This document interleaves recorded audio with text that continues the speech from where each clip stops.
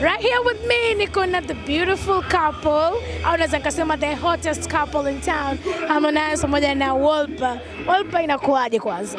Poa, vipi? Safi, kwanza hongera sana kwa hatua ulioipiga pale kati kwa kufungua duka lako la style. Asante. House of Stylish. Fine. Na niambia kuhusiana na House of Stylish kwanza. Uh, iko poa.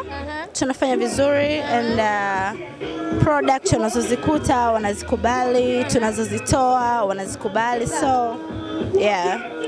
Yani ninavyokuambia leo nitaongeleshwa taratibu mpaka nikimaliza niko hoi.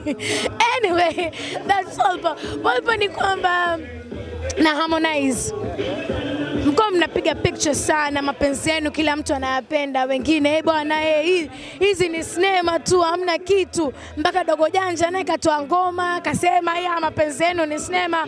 Hivi mna- mnachukuliaje watu wakiongea kama hivyo na nyinyi kwenye mapenzi? Mapenzi yanakuwaje? Ah, labda nizungumzie kitu kimoja. Okay?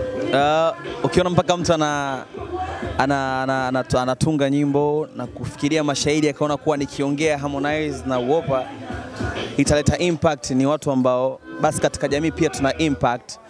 Uh, so sidhani sidhani kasema kwa ni kitu kibaya, ni kitu kizuri kwa sababu uh, sidhani kuwa amezungumza kwa ubaya au labda Dogo Janja anaweza akawa hivi. Na alikamilisha mistari na watu wakapenda the way ameimba na nyimbo imefanya vizuri, so ni kitu kizuri, lakini Jack anajua Harmonize nani, Harmonize anajua Jack ni nani, so next tunapendana na mambo mengine yanaenda, vitu vingine vipo hivyo, tunajua binadamu kazaliwa anasema, so vinakwepo yeah.